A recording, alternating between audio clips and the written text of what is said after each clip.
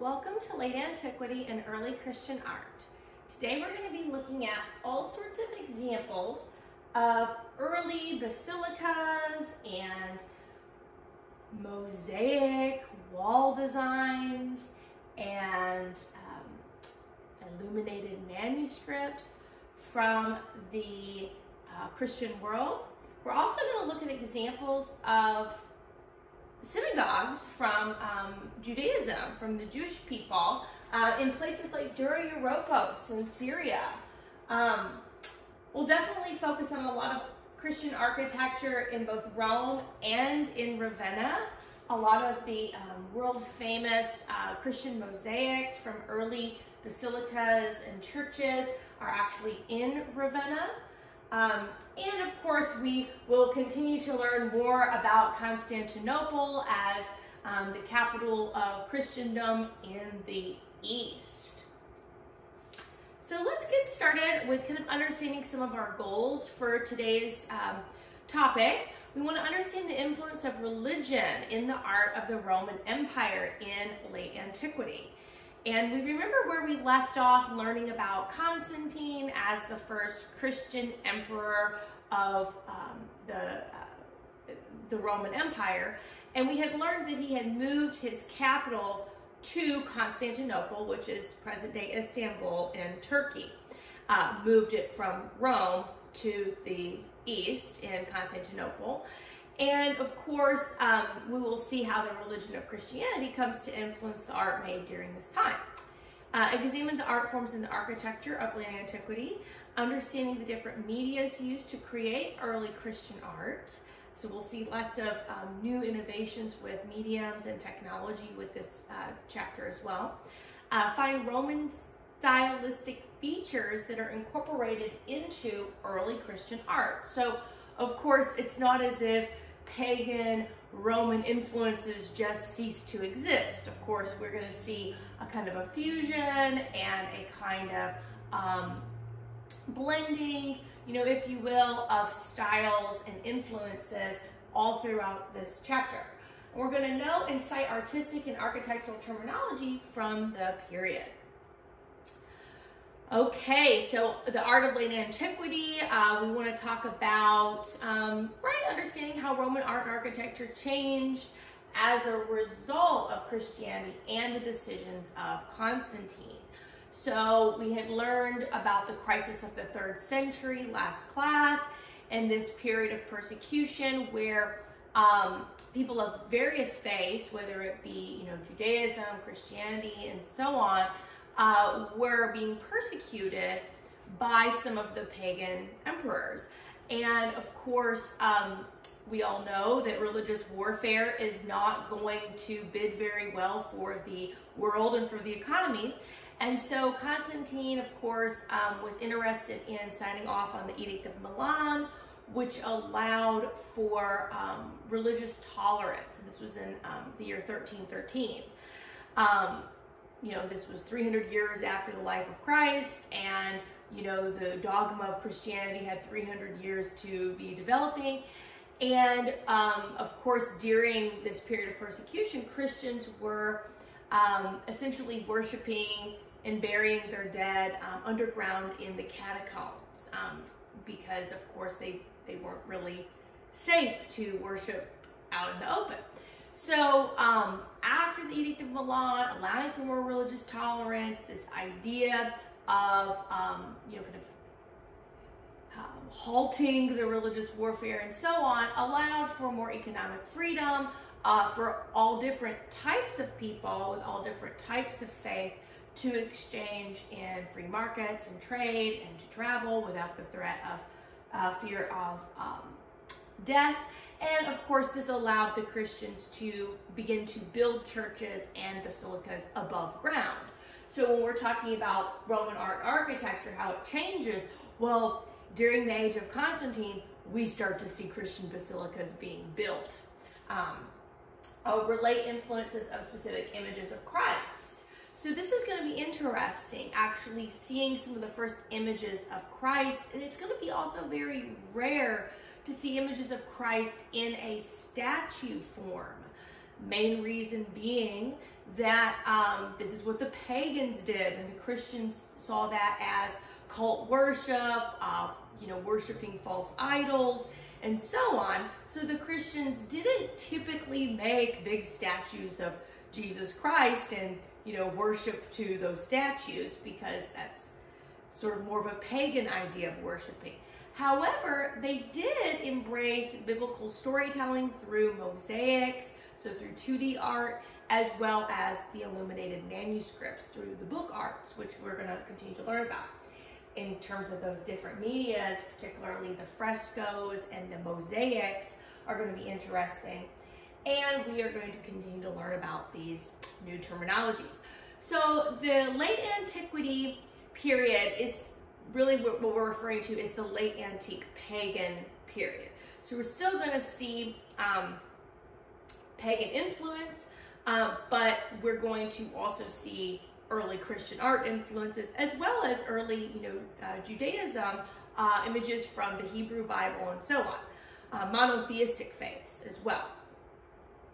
So uh, let's go ahead and start there. Let's start with the interior of the synagogue in Dura Europos in modern day Syria. Um, this is, of course, a synagogue, the interior of an early synagogue, of course, which is a house of worship for the Jewish people, uh, which is obviously a monotheistic faith. And um, some of the scenes that are depicted in this uh, um, uh, series of um, wall uh, paintings uh, are depicted from the Hebrew Bible, which is the Old Testament. And specifically, we're going to see lots of images from um, the Torah, which um, uh, you know really is, is a scroll. In fact, actually, this niche here um, supposedly housed an ancient you know Torah, which was the law of God revealed um, to Moses, you know, by God, and uh, was recorded in the first five books of um, the Hebrew Bible, which is the, the Pentateuch, the Pentateuch um, from the Old Testament. So um, we can see some of the narrative uh, unfolding here. And these are all painted with egg tempera on plaster walls. So let's take a look at this scene to the right of the niche uh, right here. Um, and we see Samuel anointing David, a detail of the mural painting. Now, of course, this is coming from, you know, Hebrew biblical narrative. So what we're seeing is the emphasis on storytelling, right? And for anybody who's interested in, you know, illustrating a story, it's going to be really important to have, you know, clear figure clustering, uh, clear um, symbol symbols or descriptions. They're going to let us know who's who in the story. Now, it's also important to recognize that the first um, uh, people um, who are, you know, worshiping in the synagogue may not be able to read and write. So the visual image is obviously going to be important. Uh, and the narration, the, the, the orator, the person who is telling the story, um, who's leading the, the sermon, uh, the rabbi, uh, has a visual image to kind of go along with uh, the story and help assist the worshiper in um, understanding the uh, the um, the narrative. So of course, Samuel anointing David. What we see here is uh, the story where um, Samuel is told uh, by God to go to the house of Jesse, and um, you know there is going to be you know an important uh, character that's going to sort of change the course of of, of these future you know biblical stories, and find, you know, this chosen son, the son of Jesse's. So when he gets there, of course, there are many sons, and he's looking at all the sons, and he's like, no, that's that's not him, that's not him. He's like, don't you have any more sons? He's like, yeah, there's David, but you know, he's out in the field, he's he's tending to the sheep, and Samuel's like, oh, yeah, that's who I need, right? So of course they bring David, and this is, of course, the um, the uh, you know going to be um, David. David at you know, who we know is going to go on to fight Goliath, right? The giant Goliath. David, who's going to go on to become a king. So, of course, he's going to be instrumental in um, God's work, right? According to um, the Hebrew Bible and, you know, of course, you know, with Christianity as well. So uh, here he is anointing him. So he has sort of like a rhyton and he's pouring oil. He's anointing David's head with oil. Now, um, interesting enough, because this is a stylization, because this is a new uh, religion and we have new sorts of modes of working here, and we notice that there's a very schematic way in which everything is drawn. You know, we're not seeing lots of modeling and realism and value like we had seen from the Greco-Roman world in the past.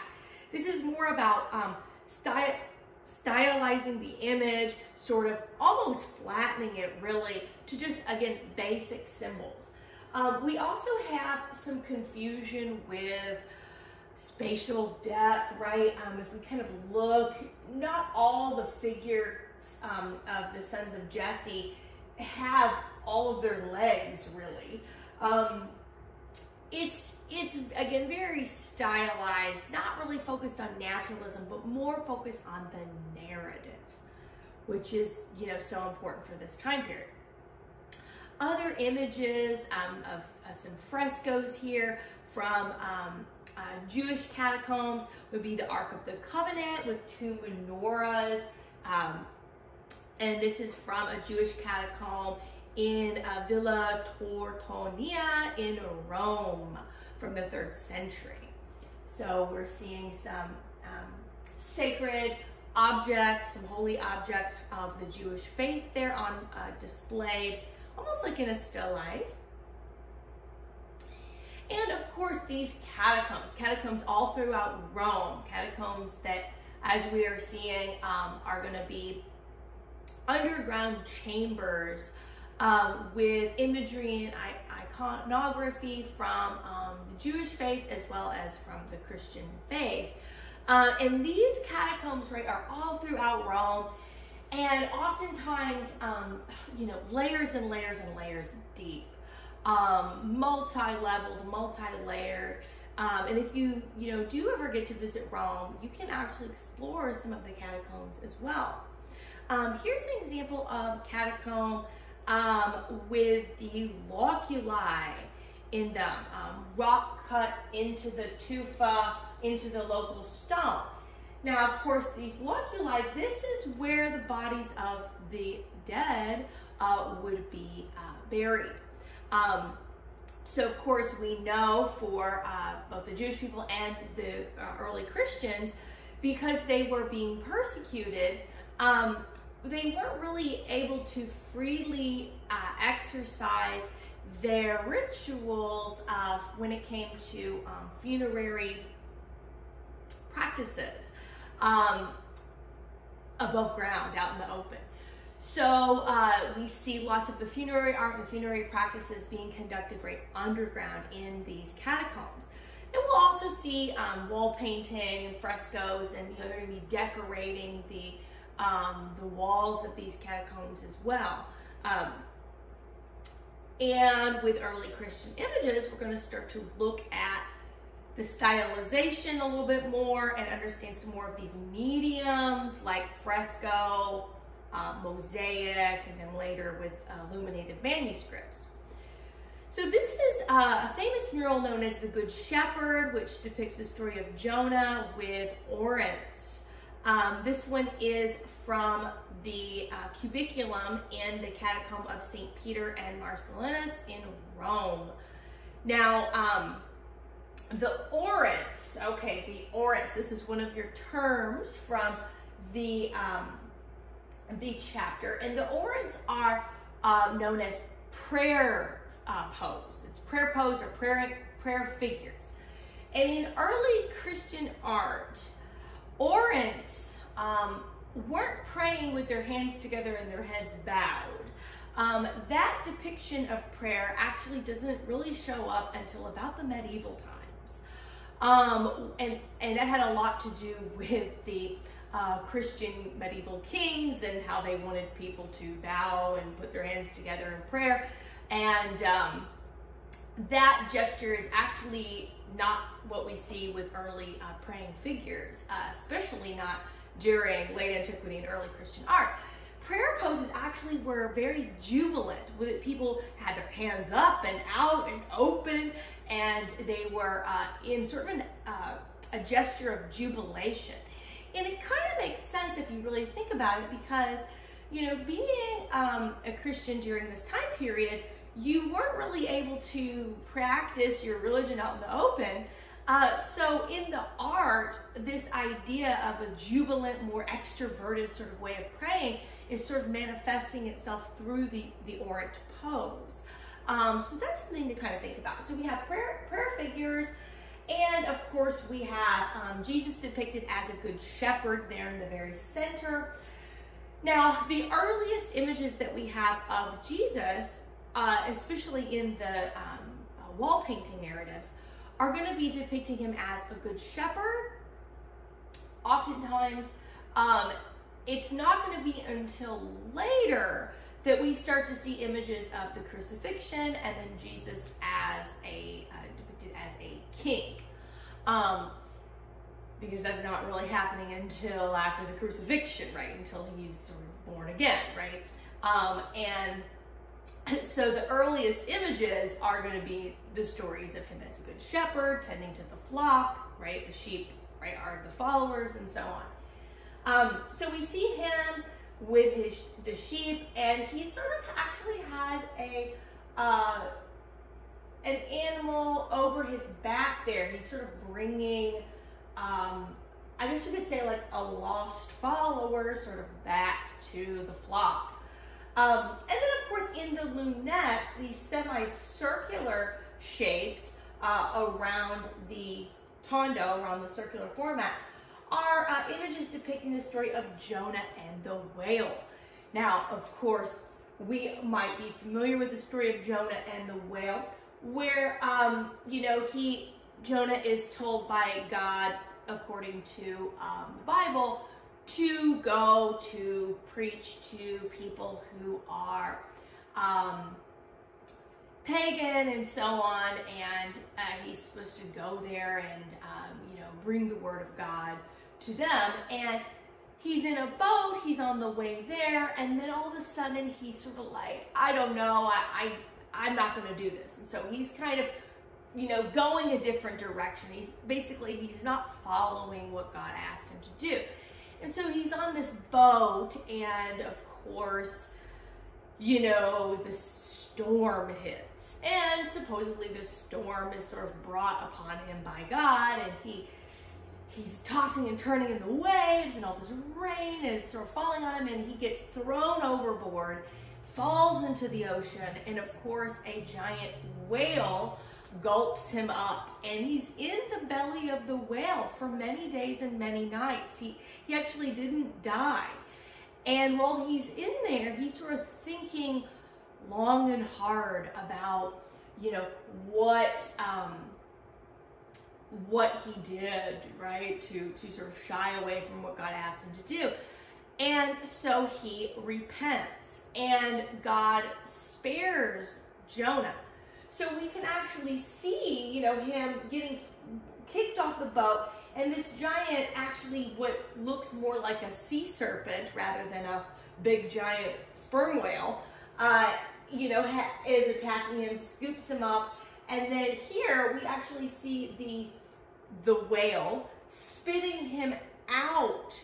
Uh, basically he's now been given this second chance, right? He's been given um, retribution. He's been forgiven, right? And now we see him reclining, sort of hanging out, you know, and sort of basking in the approval that he now has of God, right? So now he's has more renewed his faith and his trust and so on. So it's a, it's an interesting story. Obviously, it's a story that's very dramatic. It has an apex. It has a resolution, like all good stories do. And, and it has a, a moral to the story, right? A biblical moral to the story. All right, so more with these Roman sarcophagi. So I know we had really been studying these um, sarcophagi and we had uh, learned that the Romans were really um, uh, so well known for their detailed designs. You know, when it came to funerary art, they were exporting these all throughout the world as far away as Asia. And now we're starting to see some early Christian uh, sarcophagi, right? Um, because now, you know, Christians are um, starting to, you know, be able to worship above ground because it's 359 um, after all. So we, it's several decades after the Edict of Milan here. So um, we see this sarcophagi with depictions um, from um, Old and New Testament themes. Of course, Old Old Testament and New Testament. So we've got you know, just a few examples here. Um, of course, oh, we have like images of um, Abraham sacrificing Isaac at the altar. We have images of um, uh, Jesus, you know, on the donkey as he enters into Jerusalem. Images of Adam and Eve with the serpent in the garden. We have Daniel in the den of, den of lions. I mean, you've got all sorts of um, almost staged like scenes embedded into these niches that are coming from uh, biblical stories, um, Old and New Testaments. Um, and we can see that the niches are sort of framed in arches and some kind of pediments. We, we see some sort of Greco-Roman references to architecture, especially when it comes to the columns. So we're seeing kind of a, again, a sort of a blending here of um, a pagan Roman past when it comes to some of these architectural ornamentations and the just the um, tradition of you know making you know carving marble sarcophagi. And then we see old and new testament uh, biblical storytelling happening. Another good example here we have the philosophers with orants and old testament scenes um, so we have the philosopher here uh, with a scroll. He's sort of unfolding a scroll in front of him. And then the orant here with the hands up in jubilation. We can see um, this is almost as if it's Jonah, right, with the with the, the whale, or in this case, the sea serpent. Um, we have uh, actually, you know, a good shepherd here who's bringing the sheep back from the flock and so on. So we can kind of see um, some trending, um, similar images that are starting to show up uh, in these early Christian works. Now, um, I mentioned that uh, images of Jesus in statue form are very rare. And Christ seated here from Civita Latina in Italy is exceptionally rare for the very reason that it was rare to find standalone statues of Christ during ancient Rome. This is one of the major exceptions. Jesus is presented as young and he's unbearded, similar to his depiction on the Roman sarcophagus. Uh, he wears a Roman toga and sandals of an educated man from Roman society, and he holds an unopened scroll in his left hand, although that, that is missing in this slide. It's in fragment.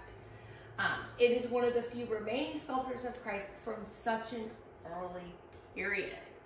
Um, so again, incredibly rare um, to see images of Christ in 3D form simply because um, the earliest Christians believed that idol worship, right, worshiping cult statues, was a sin. That's how they viewed the pagan cult statue, cult worship, um, to be perceived. So this is pretty rare, but again, it's sort of this time period where artists and early Christians are sort of developing their own styles and there still is this tradition of art from the past, right? From the late antique pagan past. Um, and this long tradition in Roman art of carving statues, right? So we see um, a unique and rare example with um, this image of Christ seated. So these artistic changes in Constantine, we're going to continue to look at how and why religious ideas are expressed, right, in early Christian art, understanding the origins and development of specific images of Jesus Christ, citing illustrations of religious architecture and their origins, particularly the basilicas, and understanding the medias and the methods and the techniques used to create the art uh, and also more about this terminology. So, the basilica, the basilica plan and the central plan in early Christian architecture. Okay, what is the difference between a basilica and a church? Well, obviously in early Christianity, the earliest Christianity is, you know, Roman Catholicism. So um, basilicas were where we see, you know, popes and bishops and some of the earliest, you know, religious leaders um, performing um, and, and sermoning, you know, uh, performing sermons to the people. And um, these houses of worship are incredibly historic because all of these basilicas, all throughout um, the Roman world, were built not just happenstance, just built whenever and wherever, willy nilly. They were built in very specific locations. Um, mostly, they were built on the tombs of martyrs, the martyrs from um, you know the period of persecution, the martyrs, the Christians who were killed and tortured and you know with their bodies you know burned and stretched and limbs cut off and skin flayed and heads put on you know grills and you know their bodies you know drugged through the streets until you know they there was nothing left of them.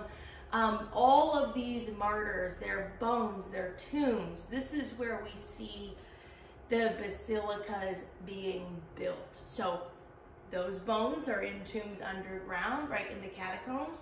When these basilicas are able to be built above ground, the Christians pick these specific sites, right, to break ground to build their, their basilicas. So here, um, St. Peter's Basilica, of course, probably the most famous basilica in all of Christendom, which is in Rome in Italy. Um, and you know, today the, the Vatican. Um, and what we are looking at is a restored cutaway view of one of the earliest um, plans, right, for St. Peter's. It was actually begun in 319 by Constantine himself, and it was believed to be built over the tomb of St. Peter. Now, you can see um, it has a, a very traditional basilica plan. It at one time did have mosaics and so on. Today, when you look at St. Peter's in Rome and at the Vatican, the structure that you actually are looking at is not the one that was built in 319. It's undergone all sorts of renovations and remodels and things over the year. And so this structure that you actually see uh, is actually in the style of the Baroque design, which we learn about later. And actually the dome was designed by Michelangelo after the architect Bramante. So there, there have been um, renovations. Michelangelo had some, some hand in this. Um, of course, right over here is the Sistine Chapel with Michelangelo. So what we are really looking at is a Renaissance, a late Renaissance Baroque structure that we see today. But it's important to remember that the earliest form of St. Peter's Basilica was obviously um, a, a, late antique design. Um, so this is St. Peter's Basilica from the view of the Tiber River. And of course, we see um, that iconic dome in that image. The overall plan is in the shape of a cruciform, so it has this Latin cross plan. It actually looks like a cross. This is going to be pretty typical of early um, Christian churches. And like or basilicas. And like all of the earliest churches in Rome, both this church and its successor had the entrance to the east and the apse at the west end of the building, right? The sun rises in the east and sets in the west. Um, and it is famous for a site of Christian pilgrimage and for its liturgical functions. So, of course, being on built on the site of the tomb of Saint Peter in the you know biblical scripture, you know, you know Peter is the rock, right? Um, the church is the rock. Um, so uh, we can see that um, you know the church is sort of built on the foundations of right this rock, this martyr uh, of the Christian faith. Um, so who was Saint Peter? Well, uh, this is a painting from the later, you know, Renaissance world, the Baroque world by the famous painter Caravaggio, and we'll learn about him next semester. Um, but it's depicting the crucifixion of Saint Peter, and Saint Peter actually he was crucified, but he was crucified upside down. Um, he didn't want to be crucified the same way that Jesus was crucified. So he was crucified upside down um, and tortured. Okay, if we go inside of St. Peter's, we will continue to see elaborate, more Renaissance and Baroque uh, styles um, and designs. But an important aspect to understand is that this giant baldacchino, it's the high altar. And of course, the high altar, it's a canopy that's built, you know, this is where the Pope will, you know, have sermons. But it's actually built supposedly on top of where the tomb of St. Peter is. So it kind of demarcates the location. Uh, although, you know, we've never seen the bones of St. Peter, but, you know, the Vatican says, hey, the bones are there, right? Um, but you can tour the crypt, just like in all basilicas, you, you know, and I love to do that, to go take tours of the crypts, you know, tales from the crypt. And um, so we would always go, there's actually a little gate here and we would go in the gate, you go down the stairs, uh, this is the entrance to the crypt right here, and then you can peruse the crypt and look at all of the the um, the tombs there and the uh, sacred relics and so on.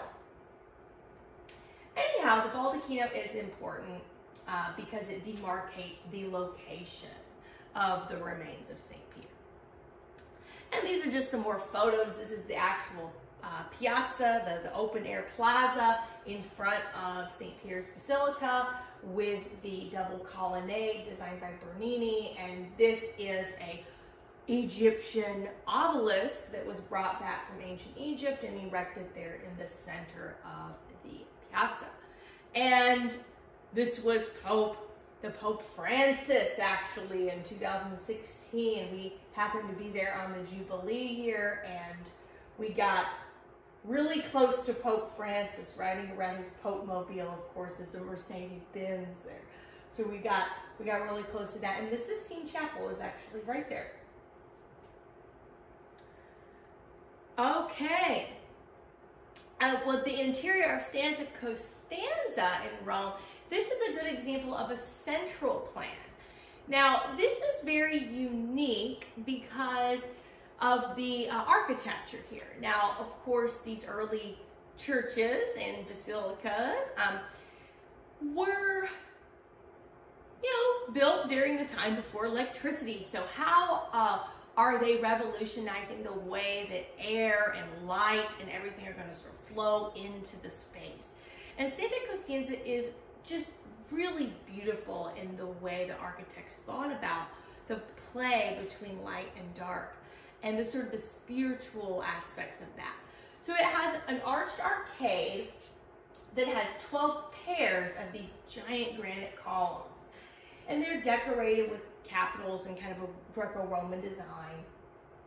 And it supports the drum below the dome. It's actually a domed structure. And uh, it separates the area of the ambulatory beyond which is much darker. So this is the ambulatory on the outer ring. And that intersection, light from the windows in the clerestory of the dome up at, at the top, doesn't reach this dark area. So you get this almost bursting, you know, sense of light and shade. The other thing that's really cool about uh, Santa Costanza is that it initially was built as a mausoleum for Constantine's um, daughters, one or both. He had two daughters, Constantina, of course, and Helena. So it was a mausoleum for his children. Um, and then later, uh, it was a church. So interesting. It's really built as, you know, funerary art, as a kind of a meditative space for Constantine's uh, family, for his uh, offspring. And the other cool thing about it is that if you look up into the, the ambulatory, into the vaulted ceiling of the ambulatory, you see this beautiful mosaic. Now, all a mosaic is, is um, uh, inlays of colored tile and or could be glass um, and or pebbles. But we call this sort of colored glazed tile or glass tesserae. Tesserae so little tesserae tiles and what's unique about it is it's a Bacchic scene it's scenes uh, with these uh, figures and followers of Bacchus, these little, you know, almost Cupid or little Cupid, Cupid, um, type characters. Um, and while most mosaics have a very clear Christian image, um, those in ambulatory could be considered Dionysiac or Bacchic, right? Dionysus or Bacchus, the Greco-Roman, you know, god of the wine uh, with their images of grapes, fruit, birds, and mythological figures. Even some of the floor mosaics were similar in style to those in the ambulatory, filled with Cupid's birds, Bacchus, and grapevines. This shows the merging of pagan and Christian values in Rome. And actually, the wine itself, I mean, they're, they're literally stomping on the wine with their feet, right? They're crushing the grapes to make wine, to ferment the skins of the grape.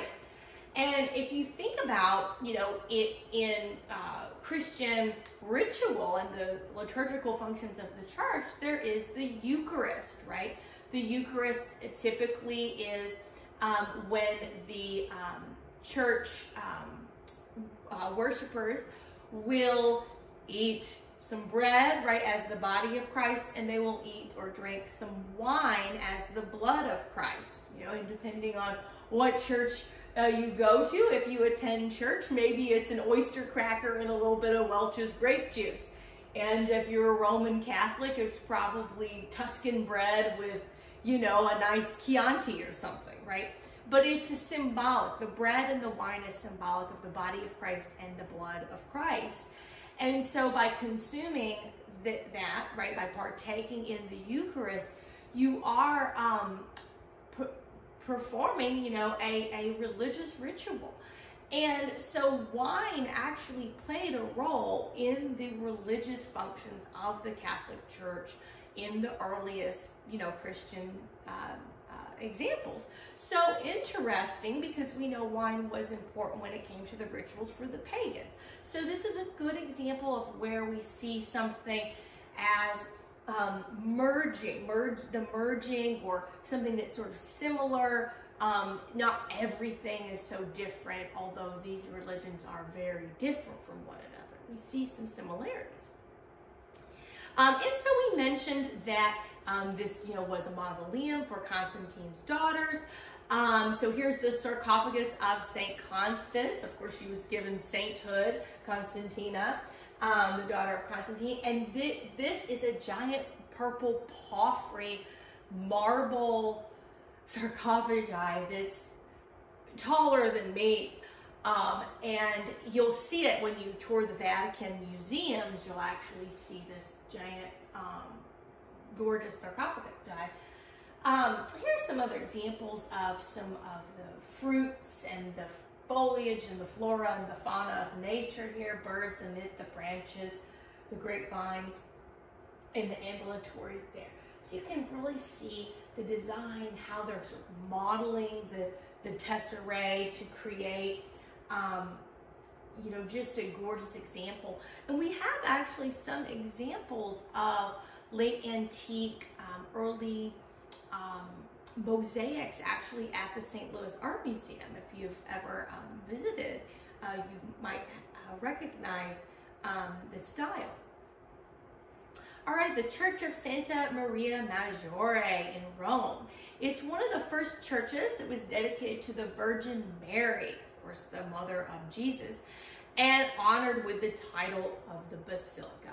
So, um, of course, we're looking at a Renaissance structure now, but in late antique um, days, it would have been a um, a sacred site. And in the interior, it's very well known for all of its uh, uh, mosaic um, uh, scenes, biblical scenes, uh, all the way around the structure. So let's take a look at some of those so that we can kind of examine more of these um, different methods when it comes to the mosaics. So inside Santa Maria Maggiore, uh, one of the scenes um, is the parting of Abraham and Lot. So of course we have um, figure clustering going on here and we can see Abraham is is parting, Lot's going the other direction. Abraham is with his son Isaac over here. And of course, that we know they're going to go on to, uh, you know, become or perform, um, you know, important, um, uh, you know, religious acts. And they're going to become instruments of good for, for God's plan, God's work, right? According to the Bible. And then Lot, of course, with his two daughters, they're going to Sodom and Gomorrah over there, right? And this is going to kind of be perceived as instruments of quote unquote evil. So we kind of have the good and the bad, um, the good and the evil, um, the parting uh, of ways here, um, part of the story. Um, so, we can see stylization and the figure clustering. It's not at all lifelike, is it? Um, for instance, Lot's daughters, they're they're you know grown women, but they're like half his height. Why is that? Well, we see the Christians now are utilizing hierarchical scale. There is a little bit of hierarchy of scale coming into play here because you know we our main characters, right, are Abraham and Lot. The secondary characters are Isaac and the daughters. So, you know, we're seeing some examples of hierarchy of scale coming into play. It not being focused so much on realism, but rather a, a symbolism and a stylization that is feeding into the biblical narrative and helping the viewer understand the story uh, plot. All right, the Mausoleum of Galla Placidia in Ravenna. Now, um, on the exterior, um, the Mausoleum of Galla Placidia doesn't look all that fancy, but inside there are some good examples of um, mosaics and things like this. But Ravenna itself is a very historic site. In fact, Ravenna in Italy is a UNESCO World Heritage Site, and it has the largest quantity of Christian mosaics anywhere in the entire world. It actually beats out Rome, goodness grief. Um, so it has the most amount of mosaics, uh, uh, Christian mosaics in this one town in Ravenna. And Ravenna is a port city in Italy. Um, and it is very, very unique and special when we're talking about late antiquity and early Christian art. So we're going to look at some more examples of Ravenna um, influences of classical pagan world uh, in the Christian art of Rome. Um, we're going to look at illustrations. We're going to understand particularly um, the development, the origins, how it relates to Ravenna, and so on. So changes. Examine the changes. All right. Well, okay, in Ravenna, inside the mausoleum of Galla Placidia, the building we were just looking at, this is the entrance wall. So when you first come in, you see this um, pretty striking lunette, right? A semicircular design that showcases Jesus as a good shepherd.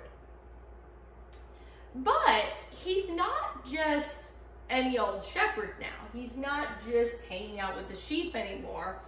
Um, we now see some symbols, um, some iconographic symbols that are starting to be used. For instance, the nimbus, right? The nimbus is the halo of light around the head of a holy figure. So we call this a nimbus. Now, it is a nimbus in Christianity, right, would be around the head of Jesus as a holy figure. It could be around the Virgin Mary. It could be around any one of the saints or martyrs of Christendom. A nimbus could also be around the head of the Buddha or Muhammad or, you know, any other holy figure in various different types of religions, okay? But it is unique uh, in Christianity, well, the way that we see these developed into the mosaic. It's usually depicted as a flat, circular, golden disc. Um, and in this phase, they're pretty flat. It's just, you know, there's not a lot of modeling or, or dimensionality to them. They're just gold. and um, we also see that Jesus is wearing a purple um, cloak here, a golden cloak with a pur purple drape. And purple and gold, but especially purple, were associated with the Roman emperors. Um, the Roman emperors wore purple robes um, that were, um, the dye was actually really stinky. It was uh, made from predatory sea snails. Um, and just really, really stinky process, but it made this gorgeous purple. And so it was associated with royalty. So here we're seeing, you know, with Jesus holding the cruciform staff and the gold and the purple robe with the nimbus, we're seeing him as kind of more than just a shepherd, right? We're sort of seeing him as a king, right?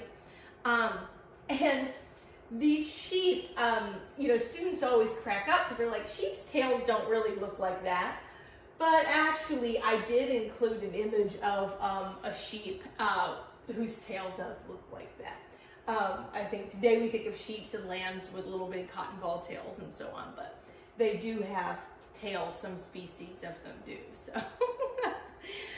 okay, the miracle of the loaves and the fishes. Of course, this is one of the many miracles that Jesus performs in the um, scripture.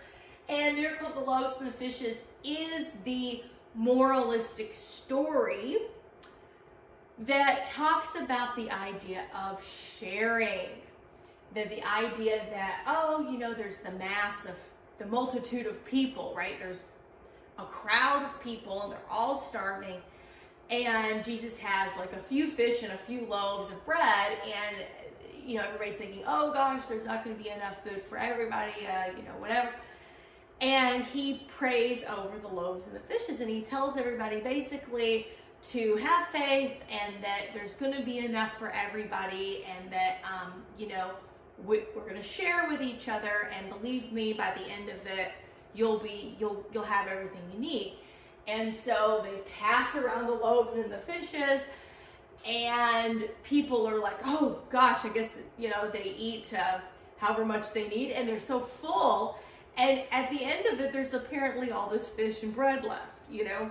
So it is a story of sharing, of not being greedy, not being selfish, um, a story of community a story about empathy, really. Um, and it's unique. So here we see the miracle, right? A miracle is something that really can't be explained logically. Um, how can you logically explain that just a few fish and a few pieces of bread are going to fill, feed this multitude of people? In the scenery, we don't really see the multitude of people. We get the idea of figure clustering, but you know, the artists have kind of stylized the scene. And we also have some kind of weird confusions with like the space, like where is this other guy's other foot and so on. Um, so stylistically, there's kind of a flatness to the space. But we see Jesus again in purple robes, and this time his nimbus is golden and it's bejeweled, and it blends into the golden sky. And definitely for the next couple of chapters, we are going to be seeing lots and lots and lots of gold. Now, this golden tesserae tile in Ravenna was one of the towns that were manufacturing golden glass tiles specifically for Christian mosaics. And basically what it is, is two pieces of glass with like gold leaf sandwiched in between. So they you know, scintillate, they're shiny, and this is um, being produced and sold, right, uh, for these kinds of decorative projects. So it becomes quite the industry, industrial center uh, for, um, for art, for artistry, for Christian, you know, mosaics these new aesthetics, um, how are they informing the art? How is it different from the classical world? Uh, and let's look at illuminated manuscripts as a new medium. So, what is a manuscript? Well, it's a book. Now, before manuscripts, the traditional format was the scroll format. And we had seen, you know, cylinder seals and examples um, like that uh, in the past as well. But illuminated manuscripts are books. And that means that they are typically going to be created on surfaces like parchment paper or vellum. So um, animal skin or lamb skin paper. So paper made from the hide of an animal. That's how this is, you know, traditionally uh, made. And then those leaves of paper are going to be stitched together into like a codex. And then many of those codexes then get stitched together to make bigger books, bigger manuscripts. So if you look at any book, for instance, if you kind of peek into the spine of a book, you'll see that there's the stitching of many different, you know, codices together to create that book. So you have the actual painting of the manuscripts. That's what an illuminated manuscript is. It's one that has pictures. You have the text, the idea of it as a historical document with actual text then you have the art form of the binding itself, the actual binding, the stitching, and then um, elaborate um, covers, right? Could be um, leather or they could be bejeweled or whatever. And then oftentimes these manuscripts uh, had elaborate cases that were built to house these books. Um, so some of these incredibly old books are housed in some of the world's most famous libraries like the Vatican or um, places in uh, Egypt, for instance, like at the Monastery of St. Catherine at the foot of Mount Sinai. Um, this example here um, from the Vatican Virgil is from 400 Common Era. You know, we're, we're looking at a book that is 1600 years old. and it still has text and images on it. Um, it's uh, one of the oldest surviving illuminated manuscripts, and it contains fragments of Virgil's Aeneid in it. Um, this is just one page uh, from you know uh, this uh, story, you know, the old farmer of Corycus. Um, but the name of the whole manuscript is the Vatican Virgil. When it says folio 7 verso, this is folio 7, so it's um, the seventh folio in the in the manuscript. And verso, okay. So there's recto and verso, and that just means the front and the back, right? So verso is the, the front and uh, recto is the back. So when you're flipping a page, is it the front or the back of that page, right? So that is what that, that example means. And it's egg tempera painted onto parchment. And we can see um, the text is actually what we call unical letters.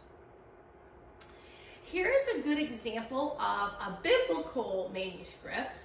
Um, this one is uh, from the Vienna Genesis. Um, so this is text from the fragment of the book of Genesis. Now, um, so when you're thinking about the Bible, right, the, in the case of the Old Testament, right, um, these the the Bible, of course, today is printed in different versions. Versions, you know, people um, oftentimes refer to the King James version of, of the Bible today.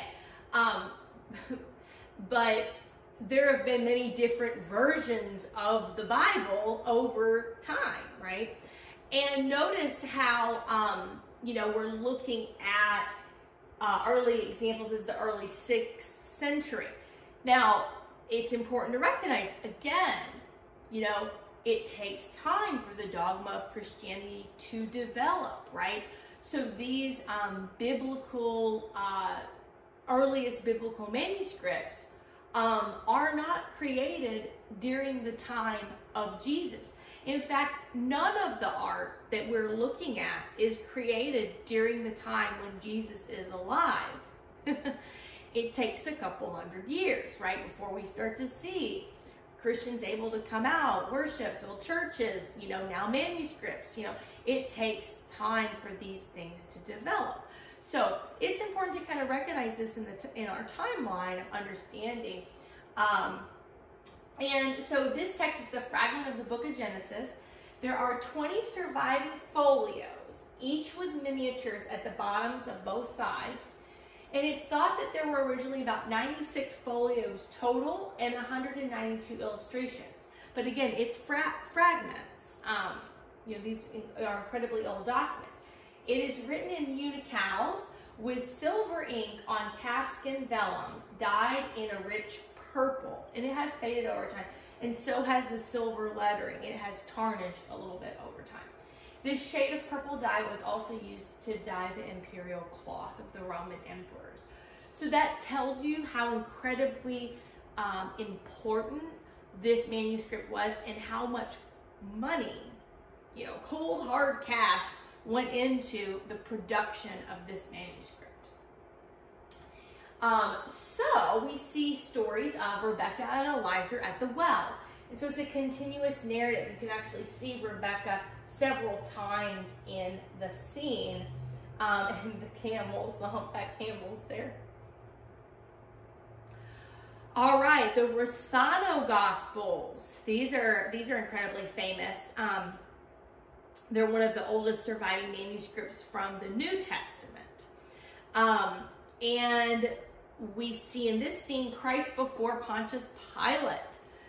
Uh, this is folio 8 verso of the Rossano Gospel from the early 6th century. So we see Pontius Pilate and we see, um, of course, Jesus down here has been brought before um, the people to, um, you know, for them to judge him, right?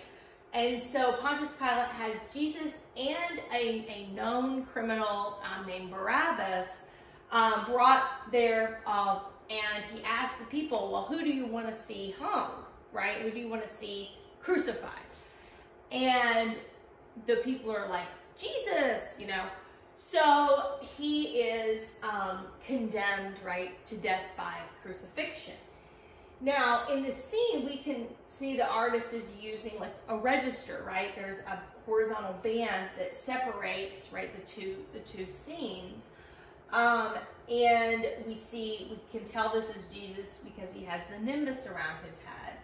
Um, and so this is, you know, us sort of starting to enter into the realm of the story of the events leading up to the crucifixion, right? The passion of Christ, right? This passion cycle, right? And we don't see that in the earliest days, right? In the earliest days, we see Jesus as a good shepherd and so on, um, a good teacher, a good shepherd. Um, and it's only now, right, where we're starting to see images of crucifixion. Um, so more examples from the Rossano Gospels. Um, they're the, some of the earliest surviving examples of the New Testament. So including the incomplete text of the Gospel of Matthew and the Gospel of Mark. So of course, um, Matthew, Mark, Luke, and John were the four evangelists. Um, and we're seeing some incomplete text from those Gospels um, when it comes to the Rossano Gospels.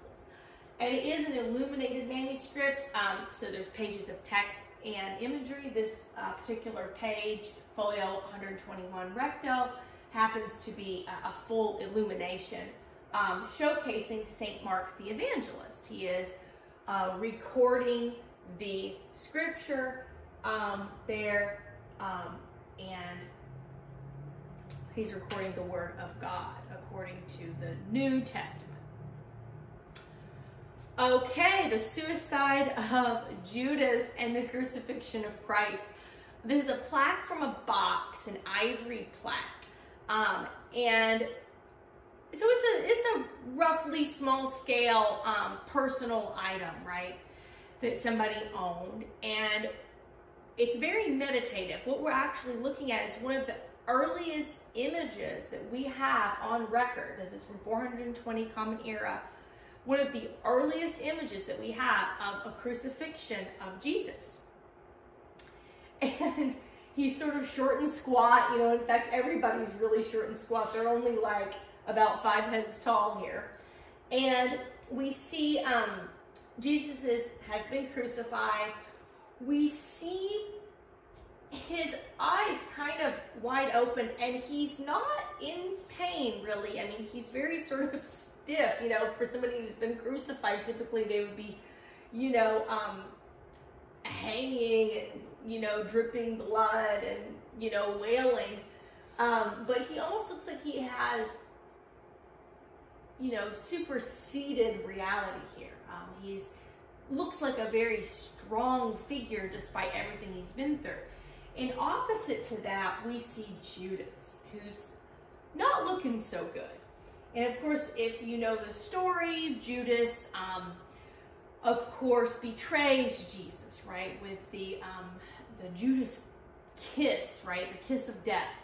And so what he does is he wants to uh, take the bribe. He's bribed, you know, 40 pieces of silver uh, by the Romans. And so he, you know, rats out Jesus and he tells the Roman soldiers, um, I will show you who Jesus is. I'm going to go up to him and I'll kiss him. And then you'll know which one is Jesus. And of course, he goes up to Jesus, he gives him a kiss. And of course, Jesus knew, you know, at the Last Supper, he says, one of you is going to betray me. So he already kind of knew somebody would eventually betray him, and that person is Judas. So, of course, then the Romans, you know, with their spears and everything, they go and get Jesus. They bring him to the judgment, and then he's taken to crucifixion. So that kind of kick starts everything that leads up to the eventual crucifixion of Jesus. So what we actually see here is Judas, and there's his little bag of silver down there, and he eventually commits suicide. You know, he's he has um, felt guilty. He had a shame and guilt for what he did, and he commits suicide. And we can kind of see how sort of worthless that bag of silver actually was after that. And then this is sort of a little poignant moment. We have. Um, a little bird's nest with some baby birds and a mama bird sort of feeding her baby birds. And so this is sort of a symbol of um, growth and fertility and, you know, abundance and, um, you know, the cycle of life. And so, you know, you have death, but then you have images of rebirth, right, that are so important to every chapter that we've learned about, but obviously when it comes to um, the crucifixion of, of Jesus and um, the rebirth of Jesus, um, uh, for Christians, that is an important concept. Okay, uh, the woman sacrificing at an altar. Um, and we are seeing it's a diptych, uh, so it's a two panel scene on ivory. And it features an ivory crowned woman sprinkling incense over the flames of an altar that are garlanded with oak reeds and a small attendant holding a cantharos and a bowl of fruit.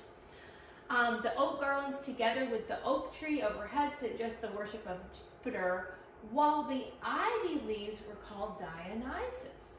The panel alludes to a revival of polytheistic past during a time when most were embracing monotheism. So it is important to recognize that it's not as if um, monotheism, like Judaism and Christianity, hit the scene and all of a sudden the pagan polytheistic past ceases to exist. That is just not true. There were plenty of, of polytheists still around uh, in four, the year 400 um, and still incorporating their symbols and their iconography as well. So that's something to also keep in mind um, about this time period of late antiquity and early Christian art. I had so much fun with you all today. Uh, this concludes our lecture and I look forward to seeing you all again soon. Bye.